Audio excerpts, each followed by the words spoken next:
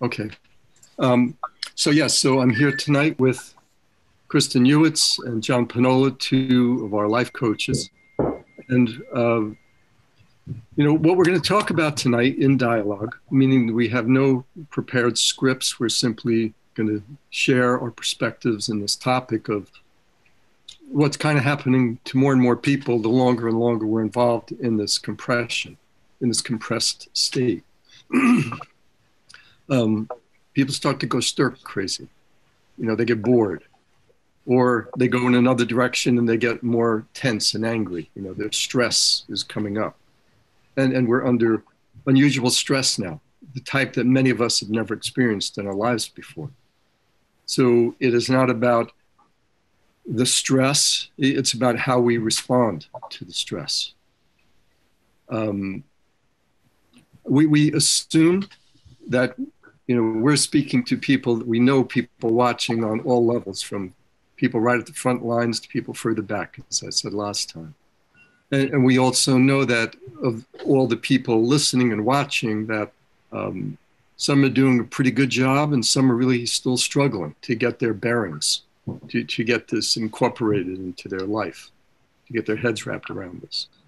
And others are really kind of moving forward and they're making the kind of positive changes that were afforded in the opportunity of, of this crisis. So, John and Christy will be speaking with me about this, and um, we'll see where we go from there. So, do each of you have thoughts about or experiences of that feeling of you're starting to kind of need more space?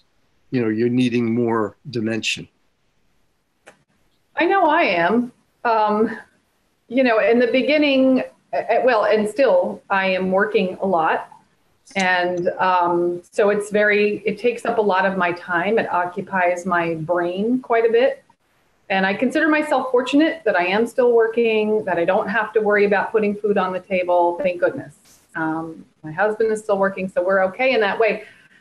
But I, yes, the stir crazy thing, um, it is starting to wear wear me down, and there are moments where I feel like I don't know if I can continue to do this much longer. Mm-hmm. And then and I remind myself I can. Mm-hmm. Exactly, and that's normal. That's exactly what we have to do, and kind of pick yourself up again. Right. Yeah, and and you know there are other people in my uh, in my range here, so I have to take them into consideration in my you know when I have my mini meltdowns. In fact, the, Richard Hake, I don't know if you're familiar with Richard Hake, the reporter who just passed away. Um, I was really distraught over that. Um, that man was my friend in the mornings getting ready for work for years. I listened to him on the news, and um, while there wasn't any particular special thing, it was his voice. It was that soothing factor, just sort of like oh, bringing me awareness and things like that. And I don't normally get very emotional over people that, you know, like I feel empathetic toward people who um, die too young when they're families, but it's not something I feel in a personal way. But I think right now, under the circumstances, I felt that very personally. And um, I've had misty moments where I, I start to, to cry because of the sadness of that. And I think it's that just sort of was the impetus for the empathy that I'm feeling for people all over.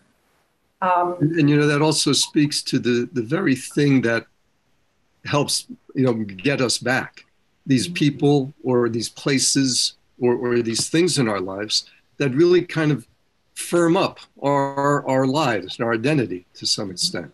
And then a person who has that kind of significance dies, or a place that has a certain significance changes or goes away or, or people in your lives begin to have a little more distance or closer to you, or any of these various factors that might happen, kind of shake us up a little bit. We even use those terms, you know, boy, it's really shook me up or rocked my world or whatever. And um, it's, it's how do we learn to kind of handle those, the, the, the, balls that we're juggling there? How do we learn to handle this? Um, it's nice if we go to training camps and then go home to a nice warm bed at night. But we have to learn it within the everyday lives of growing up and becoming adults and becoming more more human, more more loving, caring, uh, what human being potentially can be. So, how can each of us in these times not go stir crazy, but recognize that what's stirring us up are external forces and factors, and we need to perceive them and respond to them in a way so that we can begin to get back to the important work of helping the world be a better place. I think it's it's really interesting right now. Um, live. Yeah, I feel that with so many of um, so many of our, our patterns, our routines being unsettled, um, it's become a lot easier for me, at least, to take notice of the things that in this new state are both unsettling me and also the things that are completely settling and comforting for me. Um, so it's it's been a very enriching time to uh, just kind of take stock of the inventory of things to avoid and things to return to. Um, you know, we were discussing a little bit before how nice the technology, something like this, can really be to to keep people connected uh, in this strange time. Um, and I was telling my friends the other day how specifically for for an introverted person like me, like I'm I'm finding this is nice. I'm here. I'm with you, but also I can just close my laptop at any point and and walk away, which which is very wonderful. I am fine. I'm finding my love of books is coming back you know now that things are simplified and i have time to listen to the audiobooks to to read to go on more walks um, i'm reminding myself of what is fueling me and it's a great reminder for those times when uh, i am unsettled when i am more stressed that I, I can go back to that menu of items and think all right well what about reading what about going for that walk what about just listening to some music that, you know, as silly as it seems, um, may not cross my mind in the normal world? Well, look, you know, the, thing that it goes right to the center of the point of what you're saying, John, in my own mind it goes back to the notion of how are we going to handle all this stuff? How are we going to respond to this stuff? you know, knowing that we were the the coaches, they only knew the title of what we would be talking about tonight because we all enjoy very much in dialogue being able to just see what emerges here. But as I, I was thinking about it this morning, I thought, you know, I have an unusual gap of time today where I don't really have anything planned. Let, let me not go into the routines of what I've been doing, but let me just have this gap time and see what happens. And when I kind of really settled into it, I thought, you know, all I want to do is go to bed, maybe watch a movie, like like an old black and white movie about life at another time. Or there is this book I kind of want to get to. And then I hear my granddaughter steps because she's around, and immediately that's where I want to go. And and there I feel filled and engaged. But I purposefully let her run over to Nana after a while and went back into okay, let me just do nothing let, let me get bored. Because while we have social isolation, we also have, for some people, a kind of loneliness isolation, if you might call it. They may be with other people, but they're not really connecting. And if we are not connecting interpersonally, whether it's at least through the video, but at best in person, that's going to have a physiological and psychological and emotional effect on us. You know, we need to have connection with the people in our lives that that matter. And so I let myself kind of go into a place of, hey, I'm not going to really work on connecting to anyone or anything. I'm just going to sit here. And as I was sitting there, I thought, well, all I want to do is go to sleep. I'm tired. Let me just watch a movie. And then I thought, well, let me see if I can work with this and change my physical, mental, and emotional state. So I called a friend I haven't talked to in a long time that interpersonal connection kind of lifted my spirits. You know, uh, we, we've been talking maybe once uh, every three weeks or month or so, but we've been disconnected again, back and forth for years. And, and that kind of lifted my spirits. And I said, I'm going to do a workout. And then I did a good workout, I took a shower, and then I meditated. And I, I felt myself literally letting myself not slip into, not letting myself go into sort of just blah. And there's a big difference between that kind of atrophy and genuine fatigue. When you've worked hard and you're tired and you really want a day and you need a day and you maybe even should take a day or just watch movies in your pajamas all day. Which Kristen does most of the time anyway. I, I feel like I, I deserve a day like that. Um, we all do. Yeah. I, I'm sitting here thinking about, you know, going stir crazy, having those moments of feeling so emotional over what's happening, listening to a news story about some sad story and just getting, you know, feeling it. And um, and there are moments where I feel like, all right, I don't have time to do this right now. I don't have time to break down. And then other times when I just sort of say, it's okay. It's all right. I, I you know, accepting the fact that I'm going to have that, those moments, allowing that to happen because I think I, I, you know, that's sort of me. I need that to just sort of um, process those feelings and let them move through me and not let them either well up or denying them, but just sort of somewhere in between, just sort of allowing it to happen, moving mm-hmm. forward. Um, That's the center. I'm sorry? That's the center, the yeah. place in between. You said somewhere in between. Yes, exactly. And it's it's trying to find that balance. And I'm watching my family members, and it's actually really an interesting observation. Um, you know, my husband and I are both working, and and but his way to cope is to do projects around the house, which I got to say is pretty wonderful because uh, all sorts of stuff is getting done, and I love it.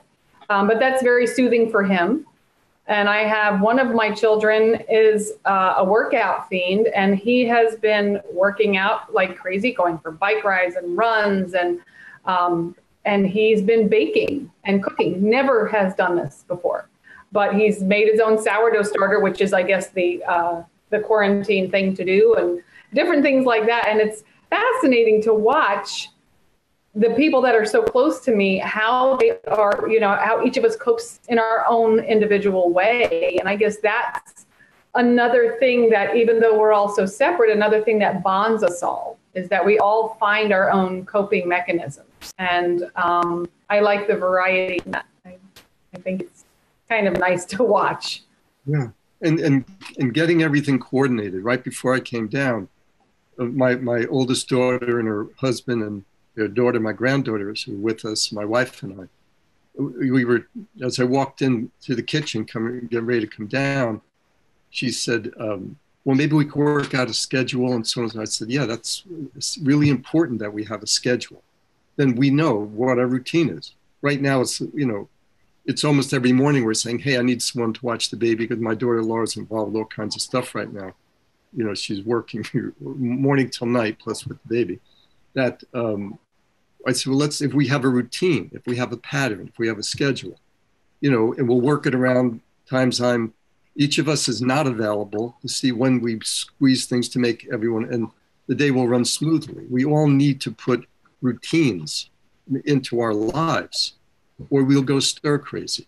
Mm-hmm. Too much rigidity of routine, you'll, you'll, you'll implode.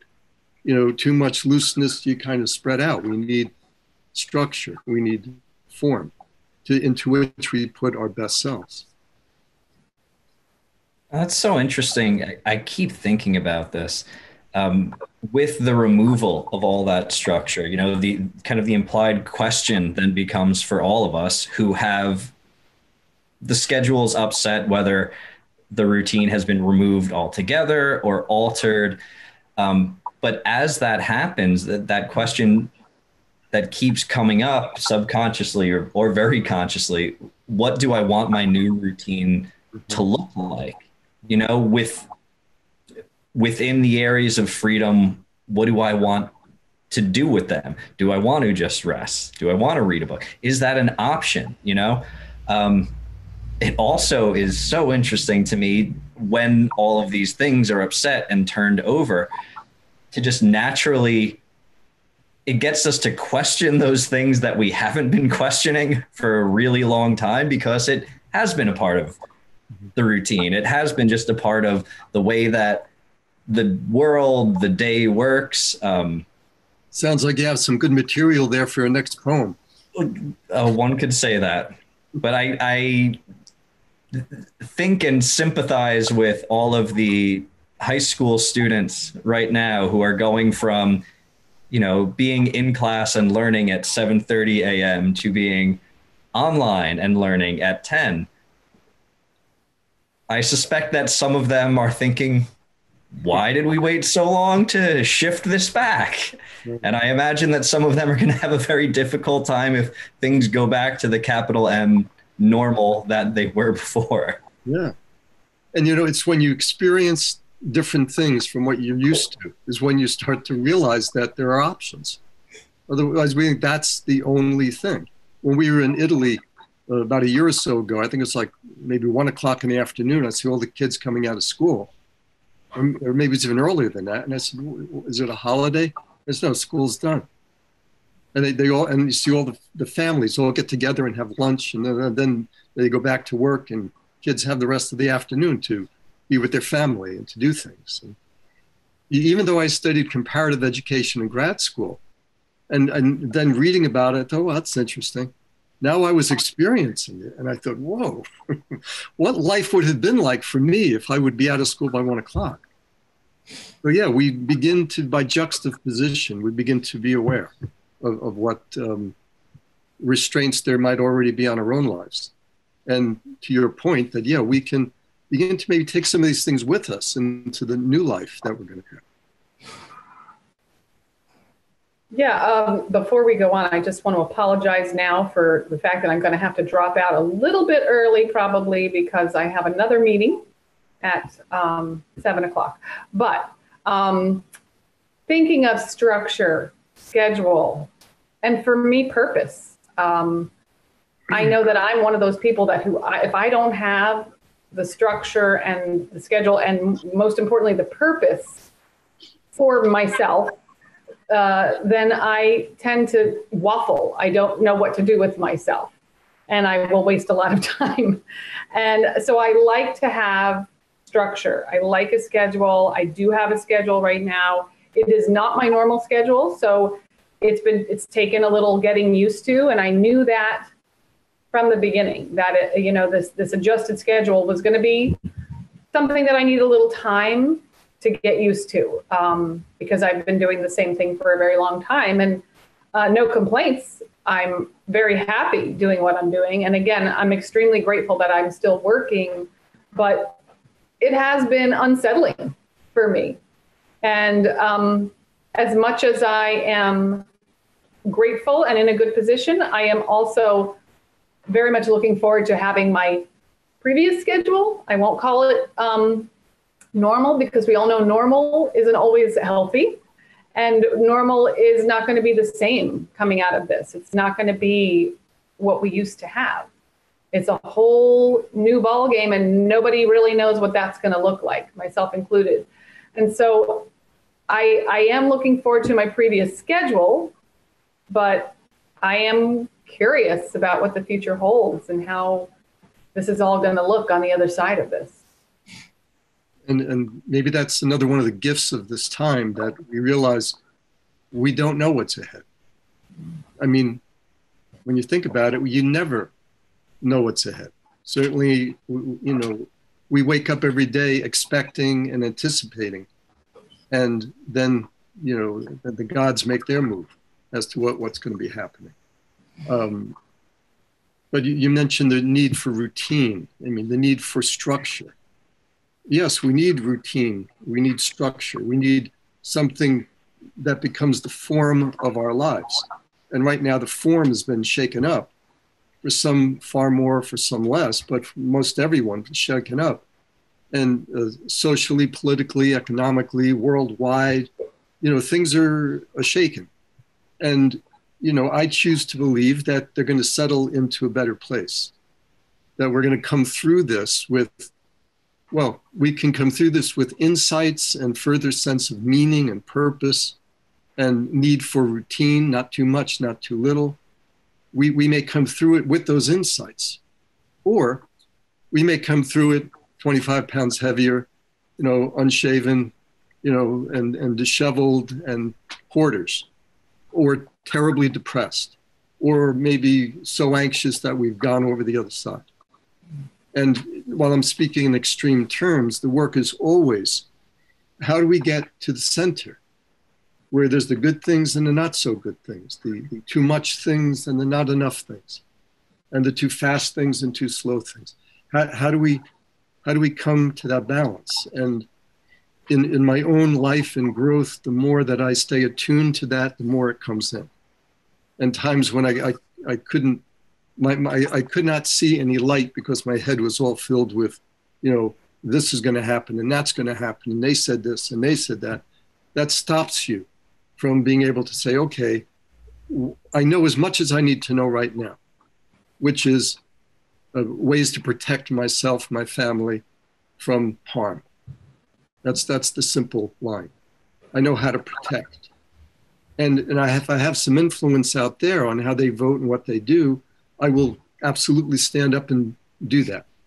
But I will put my energy into what will help move my future into a direction that contributes to the health and integrity of my whole being. Understand my whole being, my whole being, which is my body, mind, and emotions, and the people, and the places and things that give my life a form and a structure. And either we're going to let the outside forces totally determine all of that, who the people are going to be in our lives, what will our places be like, where will we go, and what things will we grasp and hold on to, and further determine the state of our own body, mind, emotions. Or we can understand, yes, there's always that energy coming into us from the outside, but we have tremendous potential energy from the inside that we could move up and out and through our body, mind, and emotions so that we do have influence on what happens in our future. It's like people talk about practice. I need to practice.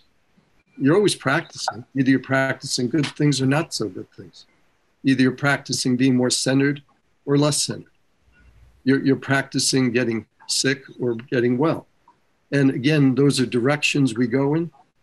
And sometimes we are born with certain limitations well, not sometimes, we all are born with limitations.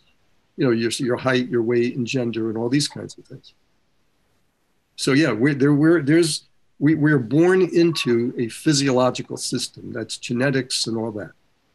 And we're also born into a body that will be growing out of that and a mind that will be influenced by the people, places, and things and the, of the environment we're in. Right now, we're in a, a, isolating environment very different from a very enriching environment. You know, we see that with animal studies and with people living in groups and so on and so forth. A certain amount of space that's needed in which to explore. I was looking at uh, turtles this morning with my granddaughter, and we are looking at different turtles and how you'd set up a terrarium, and um, and they were talking about this is nice. So there's a little tunnel, and here's some water, and here's place to climb, and you know, she said it looks like fun. And I thought, well, that that's it. The need for a stimulating environment for, for the turtle, for each of us. And some of us are in environments that have less wiggle room and, and it's sort of stuck. And that wears on you and it makes it easier to um, go stir crazy. So, yes, I know we're kind of racing to the end here. We need to um, all do what we can, all do what we can to hold ourselves together, meaning clearer minds with more positive thinking, you know, freer emotion with love and compassion and care. And, you know, the actions, the actions that you can take with your body, what you can do to keep it healthy and to use this body to do things within your sphere of influence. It might mean one phone call to someone who it really matters that you cared enough to call. Anyway, Kristen, I know you've got to run. John, thank you for being with us. Um, yes, keep in mind that uh, the coaches are offering a complimentary complimentary session to anyone who needs one um, or wants one or would like one. I mean, you know, the, the, Center for Optimum Living has always worked with people who are, are not so much um, in desperate need, but people who, on another level, just desperately need to kind of un- unburden themselves and mm-hmm. free themselves and clear themselves physically, mentally, emotionally, so they, they can lead a more fulfilling life. So, anyway, thank you for joining us. Take good care, and we'll hopefully see you next week. Bye bye.